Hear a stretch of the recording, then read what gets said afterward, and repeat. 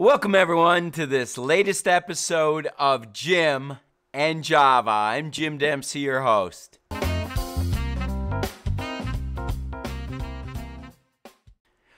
Well, ladies and gentlemen, it's always nice to be back for another episode of Jim and Java. This is a special time of year as we start to get closer and closer to year end. Year end is a important time for most nonprofits as a great majority of our income comes in those last 3 or 4 months of the year and that includes doing events, that includes contacting major donors, thanking them, appreciating them, contacting them directly. It's just a special time of year and very very important. So, we'll be addressing some issues like like that. Uh, I've been asked uh, by a few people to give an update on where things are at with regard to dinners this fall, events, and other activities.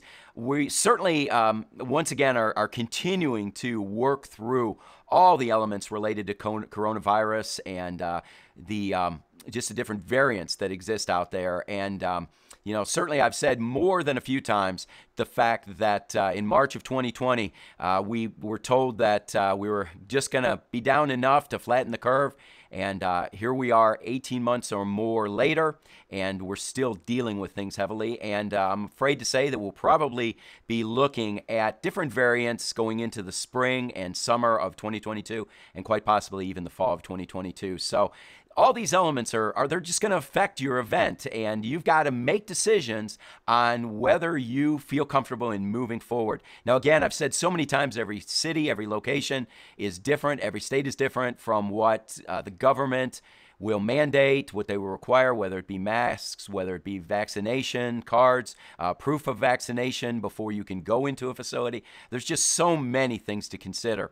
But as of fall 2021, uh, I'm still recommending with a lot of the organizations uh, and the dinners that and events that I do uh, to still continue to move forward, observing all the requirements that occur locally and uh, all, but also just making sure and knowing that people do feel comfortable on both sides. There's going to be people who do feel comfortable. They've had a vaccine. They don't mind coming out. Some have not had vaccines, don't mind coming out. Um, but there's also uh, people who just are not quite ready to go to events. I just, my recommendation is to plan for about uh, a half to three quarters of what you normally have attendance wise.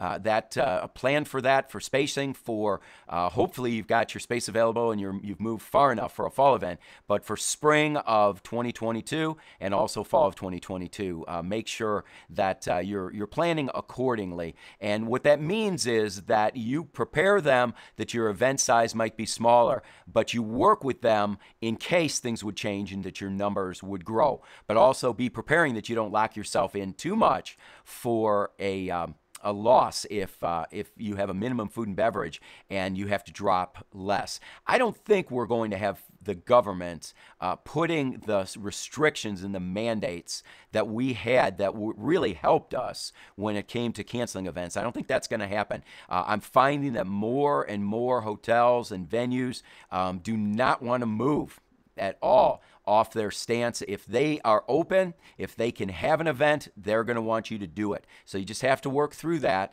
That, like I said, that might be less people, but work through that with them. So that's our update. Let's move on to our question for the day. Uh, our question for this this day and this week is uh, from Sheila in Fairfax, Virginia. And Sheila asks, What are the most important elements in appeal for a successful fundraising event?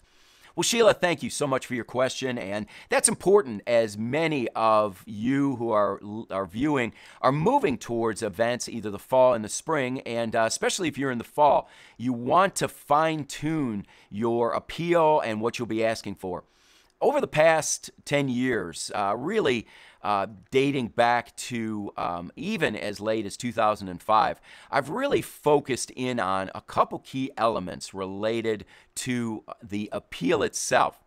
From my standpoint, I've learned over the years that operating expenses do not motivate and do not excite people.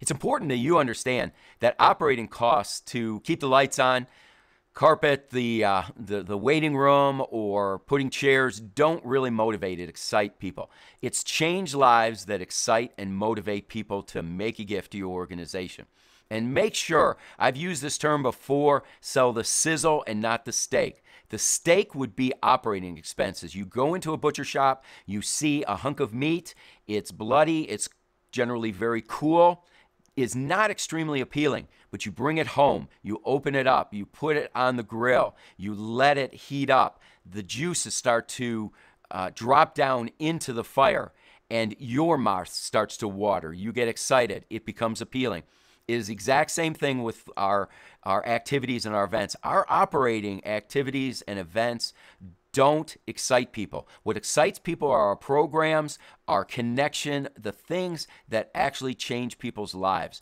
So make sure that you focus on those areas.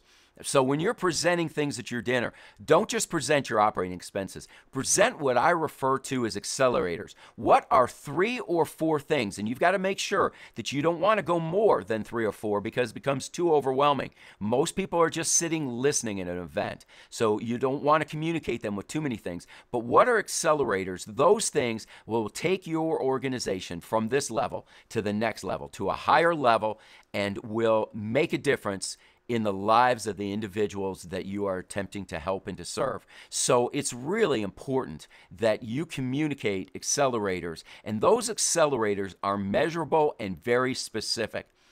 A accelerator that would not exist would be we want our audience to feel better about themselves. Feeling better is a qualitative measurement. It is not something that you can measure. What you can measure is that we want to provide X number of meals for 80% or 100% of the people that come into our rescue mission at Thanksgiving. You want to make sure that you are very, very specific in your accelerators. Now, it's important that as you outline those, you let them know the difference that's being made through those accelerators. What's going to happen? How are lives going to be changed through those accelerators? What is it that you're going to do to provide meals to those homeless individuals and provide it at a particular time of the year for them? What is it you're going to do? Uh, if you're providing clean water, what locations are you going to want to go? In the United States, overseas, what country? How many individuals do you hope to reach? Those are the kinds of things that you want to measure. Then, as you start to work towards your first half of your appeal, which I've mentioned it numerous times, I like what I refer to as a split appeal. A split appeal is where you outline where their gifts and how they can give and then at the end, you actually fill out the envelope response device with them. But as you're outlining through the first half the costs of those accelerators, it's important that you give people an option to give annually, to give monthly, and what the specific will happen. For a gift of $600 or $50 a month, that will enable us to do XYZ, to feed five homeless people this Thanksgiving. And it is also very, very important that you include the so that. What is the outcome? What's going to happen? Just feeding those homeless individuals or just providing them with work training is not the total outcome. The outcome is that they can find a job, that they can become self sustaining, that if you are building wells in third world countries for water, can they be self sustaining? Those are the kinds of outcomes that you want to make sure is in every one of your appeals. So it's important that you outline. So every good appeal includes accelerators, those things that are above and beyond the normal operating expenses. What are the dollar goals that you have. And I've mentioned in other videos just how important it is to make every one of your goals evenly and very easily divisible by 12. $600 or $50 a month, $1,200 or $100 a month, $4,800 or $400 a month, $12,000 or $1,000 a month. All those are very evenly divisible and it doesn't have to be a perfect amount that matches with with what how many people it reaches but as close as you can possibly get because a lot of times there's expenses that you don't plan. Now remember as you outline these specific things everything should be positioned as it would your gift of 600 would allow us to do things like this.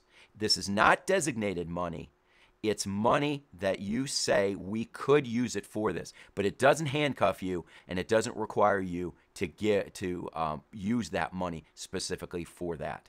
So those are what Sheila. Those are the elements that I believe are the most important as you have your dinner and your event. Uh, those things are very important. Now I've got other Jim and Javas where we've talked about our our um, what elements need to be in a in a good event.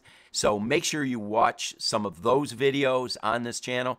If you liked what you heard today, please give it a thumbs up. Be sure to subscribe to this channel and click the bell to be notified of future videos. We really rely and we need your questions, so please submit them at Twitter at DevEffStrats and use the hashtag Jim and Java, or reach us uh, with questions on Instagram and just message me at Dev Effectiveness Strategies, or you can always email questions at developmenteffectivenessm at gmail.com. So for Jim Dempsey and Jim and Java, thank you so much, and we look forward to seeing you again next week. Take care.